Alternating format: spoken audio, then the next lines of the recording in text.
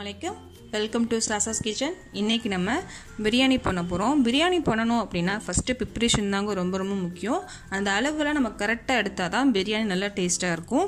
First நம்ம preparation பார்க்கலாம். இந்த வீடியோவில் ப்ரிப்ரேஷன் மட்டும் பார்க்கலாம். அடுத்த வீடியோவில் நம்ம எப்படி செய்யலான்றதை பார்க்கலாம்.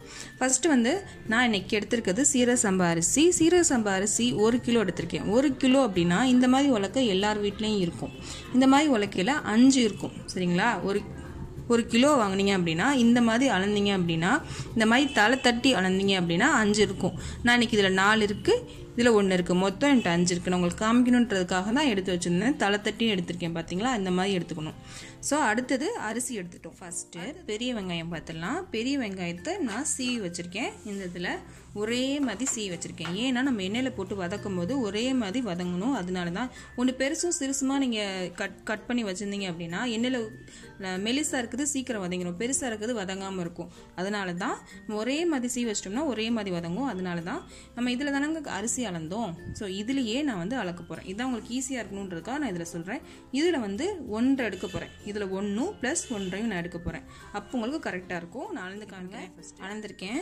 தலை தட்டி அளந்திருக்கேன். நீங்கள் வந்து குமிச்சு அளந்தீங்கன்னா ஒன்று போதும். நான் தலை தட்டி அளக்குறதுனால நான் ஒன்று எடுத்திருக்கேன். ப்ளஸ் அரை எடுக்க போகிறேன்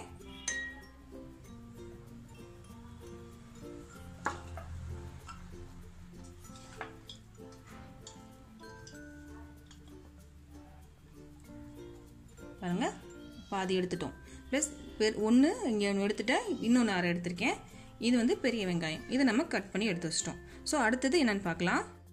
அடுத்து சின்ன வெங்காயம் பார்க்கலாம். சின்ன வெங்காயம் வந்து தோல் உரித்து நான் அலசி எடுத்திருக்கேன். இதே அளவில் குமிச்சு அளக்கணும். பார்த்தீங்க அப்படின்னா குமிச்சு அளக்கணும்.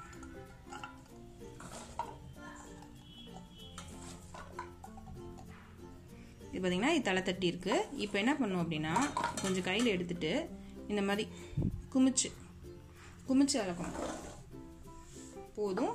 வெங்காயம் இவ்வளோ போதும். ஒரு கிலோ அரிசிக்கு நான் எடுத்திருக்கேன். மிக்ஸி ஜாரில் நான் எடுத்துட்டேன். இது எப்படி அரைக்கணும் அப்படின்னா ரெண்டு விப் இல்லைனா மூணு விப். அதுக்கு மேலே நீங்கள் அரைக்காதீங்க. நல்லா மையாக அரைக்கணும்னு அவசியம் கிடையாது. சின்ன வெங்காயம்.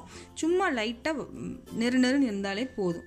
ஏன் அப்படின்னா அப்போ தான் வந்து சின்ன வெங்காயம் வந்து டேஸ்ட் கொடுக்கும். அதனால தான் இப்போ அரைச்சிட்டு காமிக்கிறேன் உங்கள்கிட்ட நான் சின்ன வெங்காயத்தை அரைச்சிட்டேன். இங்கே பாருங்கள் எப்படி அரைச்சிருக்கேன்றது பாருங்கள் ஒன்று ரெண்டு அரைப்படாமே கிடக்கு. அப்படியே இருக்கட்டும். ஒன்றும் பிரச்சனை கிடையாது. இப்படி தான் நீங்கள் அரைக்கணும். ஒன்று ரெண்டு அரையாமல் இருந்தாலும் பரவாயில்ல. பார்த்தீங்களா இந்த மாதிரி அரைச்சிக்குவோம். இது எப்படி இதில் எடுத்துக்குவோம்? நான் சின்ன வெங்காயத்தை இதில் ட்ரான்ஸ்ஃபர் பண்ணி வச்சுட்டேன். அடுத்தது என்னென்னு பார்க்கலாம். அடுத்து பூண்டு பார்த்துடலாம். பூண்டு வந்து பார்த்தீங்க அப்படின்னா இதில் குமிச்சலக்கணும் இது இரநூறு இது நூறு.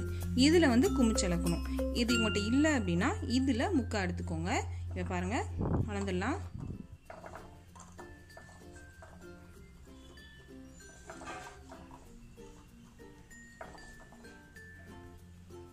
பாருங்க. தலை வச்சு இப்போ என்ன பண்ணணும் அப்படின்னா கொஞ்சம் கையில் எடுத்துக்கோங்க. கையில் எடுத்துட்டு இப்படி கும்மிங்க ஸோ இதுதான் உங்களுக்கு நூறு. இப்போ பாருங்கள் இதில் நான் போட்டு காமிக்கிறேன் உங்களுக்கு. எவ்வளோ வருதுன்னு காமிக்கிறேன்.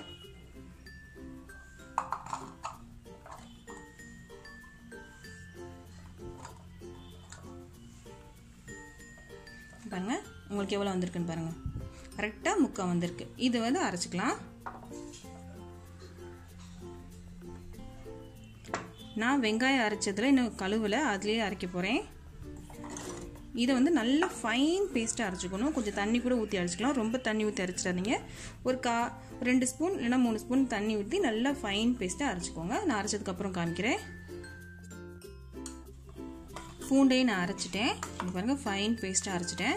இப்போ இதை ட்ரான்ஸ்ஃபர் பண்ணிக்கலாம். பூண்டு பேஸ்ட்டு இதில் ட்ரான்ஸ்ஃபர் பண்ணிட்டேன். இப்போ அடுத்தது என்னென்னு பார்க்கலாம். இஞ்சி பார்க்கலாம். இஞ்சி வந்து நான் வந்து சின்ன சின்னதாக கட் பண்ணி வச்சுருக்கேன். இதை வந்து நம்ம பூண்டு அளந்தோம் இல்லைங்களா? இதில் குமிச்சு அளந்தோம் இல்லைங்களா? அதே மாதிரி இதில் இஞ்சியை மட்டும் குமிச்சு அளக்கக்கூடாது. தலை தட்டி அளக்கணும். ஏன் அப்படின்னா ஒரு சில பிரியாணி நீங்கள் சாப்பிட்டீங்க அப்படின்னா ஒரு மாதிரி நெஞ்சு எரியும். அதுக்கு காரணம் இஞ்சி கூட போனால் மட்டும்தான். பாருங்கள் பூண்டு கூட கொஞ்சம் கூட போனால் ஒன்றும் தெரியாது. இஞ்சி கூட போனால் உங்களுக்கு ஒரு மாதிரி எரிகிற மாதிரி இருக்கும். பாருங்கள் இவ்வளோ அளந்திருக்கேன். இவ்வளோ தான் இது போதும். நான் மிக்சி ஜாரில் போட்டேன். நான் மிக்சி ஜார் கழுவில். வெங்காயம் பூண்டு இதில் தான் அரைச்சேன். அடுத்து இஞ்சி இதில் தான் அரைக்க போகிறேன் அடுத்து இஞ்சியோட நம்ம ஏலக்காய் பட்டை கிராமையும் சேர்த்து அரைக்க போகிறோம் ஏன்னா இதுவும் ஹார்டான பொருள். இதுவும் ஹார்டான பொருள். சேர்த்து அரைக்கும் போது ஈஸியாக அரைஞ்சிரும். அதனால நான் ஒரு பட்டை எடுத்திருக்கேன். பிரியாணிக்கு எப்பவுமே கனப்பட்டை எடுங்க அப்போ தான் நல்லாயிருக்கும். பாருங்கள் நம்மளோட ஆள் ஆள்காட்டி விரல் இருக்குது பார்த்தீங்களா ஸோ இந்த சைஸில் இருக்கணும். பட்டை. அந்த மாதிரி பட்டை தான் நான் எடுத்திருக்கேன். இங்கே பாருங்கள் அவ்வளோதான் இந்த பட்டை ஒரு ஏழு ஏலக்காய் போதும். ஒரு நல்ல பெரிய பெரிய ஏலக்காவாக இருந்துச்சு அப்படின்னா ஆறு போதும். ஒரு நார்மல் சைஸில் இருக்குது அப்படின்றதுனால நான் ஏழு எடுத்திருக்கேன். கிராம்பு பார்த்தீங்க அப்படின்னா இந்த மாதிரி கிராம்பு அப்படின்னா இங்கே பாருங்கள் இந்த மாதிரி கிராம்பு சின்ன சின்ன கிராம்பு உங்கள்கிட்ட இருந்துச்சு அப்படின்னா அட்லீஸ்ட் ஒரு பதினெட்டு எடுங்க. போதும். அதுக்கு மேலே எடுக்காதீங்க. நல்ல பெரிய பெரிய கிராம்பு அப்படின்னா இங்கே பாருங்கள் நல்ல பெரிய கிராம்பாக இருந்துச்சு. இந்த மாதிரி பெரிய பெரிய கிராம்பு அப்படி அப்படின்னா இந்த இந்த மாதிரி பெரிய கிராம்பு இருந்துச்சு அப்படின்னா நீங்கள் வந்து பதிமூணு பதினாலு எடுத்தால் போதும். நான் ரெண்டும் சேர்ந்து கலந்து வச்சுருக்கேன். சின்ன கிராம்பும் பெரிய கிராம்பும் நான் சேர்ந்து இருக்கேன்ட்டு. அதனால் நான் மொத்தம் வந்து இதில் பதினெட்டு எடுத்திருக்கேன். ரெண்டு மூணு தான் என்கிட்ட சின்ன பெரிய கிராம்பு இருந்துச்சு. அதனால் நான் ரெண்டு மூணு மட்டும் போட்டுட்டு நான் பதினெட்டு கிராம் எடுத்திருக்கேன். கிராம்பு எடுத்திருக்கேன். இந்த எல்லாத்தையும் சேர்த்து நம்ம இஞ்சியோட அரைச்சிடலாம். முத ஏலக்காய் போட்டேன் கிராம்பையும் போட்டேன். இந்த ரெண்டு கிராம் வந்து உங்களுக்கு காமிக்கணுன்றதுக்காக நான் எடுத்து வச்சேன். அதனால் நான் இது போடல. இந்த பட்டையை கொஞ்சம் உடச்சி போட்டுக்கலாம்.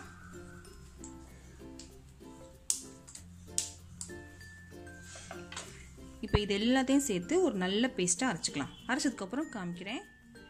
இஞ்சியும் நான் ஃபைன் பேஸ்ட்டாக அரைச்சிட்டேன். இஞ்சியோட ஏலக்காய் பட்டை கிராம்பு எல்லாத்தையும் போட்டு அரைச்சிட்டேன். கொஞ்சம் தண்ணி ஊற்றி தான் அரைச்சிருக்கேன். இங்கே பாருங்கள் இவ்வளோ பேஸ்ட்டாக அரைச்சிருக்கேன்னு. நல்லா இதே இதில் ட்ரான்ஸ்ஃபர் பண்ணிக்கலாம். இஞ்சியும் இதில் ட்ரான்ஸ்ஃபர் பண்ணிவிட்டேன் அடுத்து என்னென்னு பார்க்கலாம். இங்கே பாருங்கள் தக்காளி வந்து கால் கிலோ எடுத்திருக்கேன். கால் கிலோ வந்து எல்லாம் பழுத்த தக்காளியாக எடுத்திருக்கேன். ஏன் அப்படின்னா அப்போ தான் கலர் நல்லா வரும். அதனால நம்ம எந்த ஆர்டிஃபிஷியல் கலரும் போட போகிறதில்ல பிரியாணியில். பிரியாணியோட நேச்சுரல் கலர் தான் வரப்போகுது. அதுக்கு நல்ல பழுத்த தக்காளியை எடுத்துக்கோங்க. கால் கிலோ ஒரு கட்டு புதினா ஒரு கட்டு கொத்தமல்லி. எல்லாம் கட் பண்ணி அலசி எடுத்து வச்சுருக்கேன். நாலு பச்சை மிளகாய் எடுத்திருக்கேன். குழந்தைங்களாம் எங்கள் வீட்டில் இருக்குது அதனால் நான் குழந்தைங்க சாப்பிடணும் அப்படின்றதுனால நான் நாலு எடுத்திருக்கேன். உங்களுக்கு காரம் கூட வேணும்னா நீங்கள் அஞ்சுலேருந்து ஆறு போட்டுக்கலாம். அடுத்து எண்ணெய் இரநூறு எண்ணெய் நூறு தயிர் நூறு நெய். பெரிய எலுமிச்சம்பழமாக இருந்துச்சுன்னா ஒன்று போதும். நீங்கள் நார்மல் சைஸில் இருந்துச்சு அப்படின்னா ஒன்று எடுத்துக்கோங்க. ஒரு டேபிள் ஸ்பூன் மிளகாய் பொடி ஒரு டேபிள் ஸ்பூன் மல்லிப்பொடி தேவையான அளவு உப்பு அடுத்து கறி பார்க்கலாம். கறி வந்து உங்களோட விருப்பம் தான். மிச்சம் எல்லாமே வந்து அதே அளவுக்கு போட்டுக்கோங்க. கறி வந்து உங்களோட விருப்பம். இப்போ உங்களுக்கு இந்த அளவு நான் ஒரு கிலோ எடுத்திருக்கேன். எனக்கு இதில் இதோட கூட வேணும் அப்படின்னு நினச்சிங்கன்னா நீங்கள் எவ்வளோ வேணாலும் நீங்கள் போட்டுக்கலாம். இல்லை எனக்கு இவ்வளோ தேவையில்லை எனக்கு கம்மி பண்ணிக்கிறேன் அப்படின்னா நீங்கள் கம்மி பண்ணிக்கலாம். கறியை பொறுத்த வரைக்கும் உங்களோட விருப்பம் தான். மிச்சம் எல்லாமே கரெக்டான அளவு நம்ம கறியை வேக வைக்க போகிறோம் ஏன் அப்படின்னா ஃபர்ஸ்ட்லாம் விறகு அடுப்பில் பண்ணுவாங்க அது சீக்கிரம் வெந்துடும் கறி. இப்போ நம்ம எல்லாரும் கேஸ் ஸ்டவ்வில் தான் பண்ணுறோம் அதனால கறி வேகிறது கொஞ்சம் சாஃப்டாக வேக மாட்டேங்குது. அதனால நான் என்ன பண்ணுவேன் அப்படின்னா ஃபஸ்ட்டு ஒரு கறியை ஒரு விசில்னா ரெண்டு விசில் வேக வச்சு எடுத்துக்குவேன். கறியை மட்டும் போட்டு வேக வைக்க மாட்டேன். நம்ம எடுத்து வச்சிருந்தோம் இல்லைங்களா? இஞ்சி பேஸ்ட் அரைச்சி வச்சுருந்தோம் இல்லைங்களா? ஏலக்காய் பட்டை கிராம்பு இஞ்சி போட்டு அரைச்சோம் இல்லைங்களா? அந்த பேஸ்ட் இது. இது வந்து பூண்டு பேஸ்ட் இது இதுலேருந்து ஒரு ஸ்பூன் இதுலேருந்து ஒரு ஸ்பூன் போட்டு இதில் கொஞ்சம் உப்பு போட்டு கொஞ்சம் தண்ணி ஊற்றி ஒரே ஒரு கிளாஸ் தண்ணி ஊற்றி இந்த கிளாஸில் ஒரு கிளாஸ் தண்ணி ஊற்றி நான் வேக வச்சு எடுத்துக்குவேன். வேக வெந்ததுக்கப்புறம் இந்த கறி தனியாக அந்த தண்ணி தனியாக நான் எடுத்து வச்சுக்குவேன். அது எப்படி செய்யலான்றதை பார்க்கலாம். ஃபஸ்ட்டு நான் குக்கரில் கறியை வேக வச்சிடலாம். நான் எடுத்து வச்சிருந்த ஒரு கிலோ கறியும் போட்டுறேன்.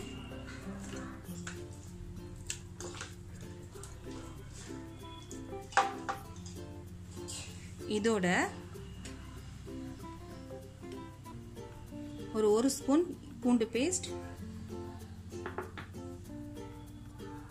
ஒரு ஸ்பூன் இஞ்சி பேஸ்ட். இஞ்சி பேஸ்டோட ஏலக்காய் பட்டை கிராம்பெலாம் இருக்குது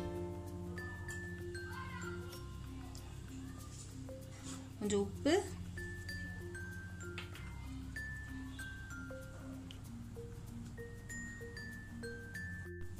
அதோட ஒரு கிளாஸ் தண்ணி.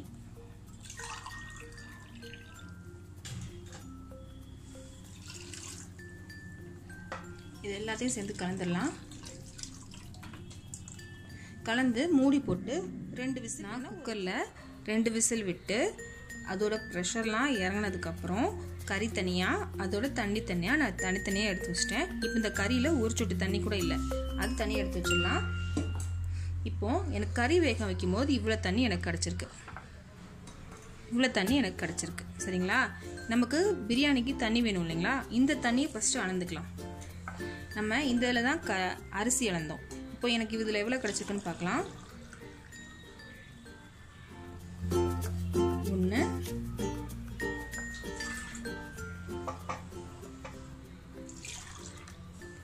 ஒன்றரை கிடச்சிருக்கு. இப்போ ஒன்றே கால் கிடச்சிருக்கு.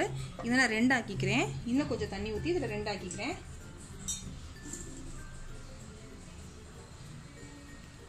இது மிக்சி நம்ம இஞ்சி பூண்டுலாம் அரைச்சோம் இல்லைங்களா? அந்த மிக்சி தண்ணி. அதில் கொஞ்சம் தண்ணி மிக்சியில் கொஞ்சம் தண்ணி ஊற்றி வச்சுருந்தேன். இப்போ எனக்கு இது ரெண்டு ஆயிடுச்சு நமக்கு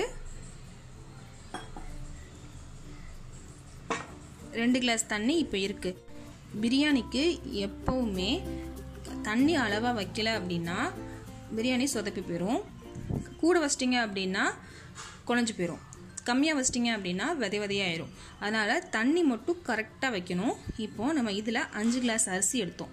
இதிலே தான் பத்து கிளாஸ் ப்ளஸ் ஒரு கிளாஸ் தண்ணி எடுக்க போகிறோம் ஒரு கிளாஸ் தண்ணி வந்து இஞ்சி பூண்டு வெங்காயம் தக்காளி தயிர் இதெல்லாம் சேர்த்து ஒன்று ஆயிரணும் வதக்க வதக்க ஒரு கிளாஸ் ஆயிரும். ப்ளஸ் அப்போது இந்த இதில் அஞ்சுக்கு பத்து கிளாஸ் தண்ணி எடுக்க போகிறோம் இப்போ நம்ம கறி வேக வச்சதில் ரெண்டு கிளாஸ் தண்ணி கிடச்சிருக்கு.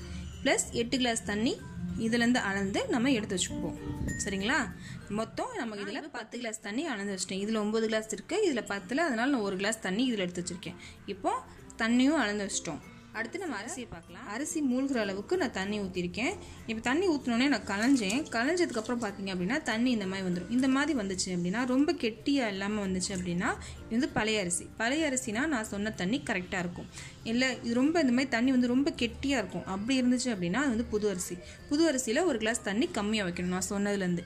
இப்போது நீங்கள் புது அரிசியாக பழைய அரிசியான்னு நீங்கள் பார்த்துட்டு நீங்கள் தண்ணி அளந்துக்கோங்க. இப்போ பழைய அரிசி அப்படின்றதுனால நான் சொன்ன நான் இந்த வீடியோவில் ப்ரிப்பரேஷன் ஃபுல்லும் பார்த்து முடிச்சிட்டோம். அடுத்த வீடியோவில் நம்ம எப்படி செய்யணுன்றதையும் நான் சொல்கிறேன் அடுத்த வீடியோ மறக்காமல் பார்த்துருங்க. இந்த வீடியோ பிடிச்சிருந்துச்சுன்னா லைக் பண்ணுங்கள் ஷேர் பண்ணுங்கள் கமெண்ட் பண்ணுங்கள் மறக்காமல் என்னோட சேனலை சப்ஸ்கிரைப் பண்ணுங்கள்